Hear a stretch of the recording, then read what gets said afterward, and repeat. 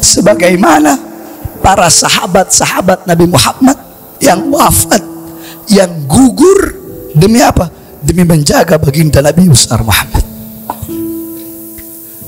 Ada salah seorang sahabat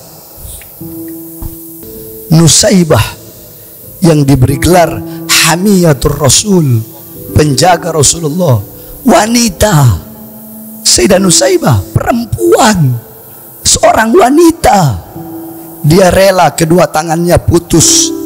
Perutnya terurai isi perutnya. Demi apa? Demi menjaga Rasulullah. Itu bukti daripada kecintaan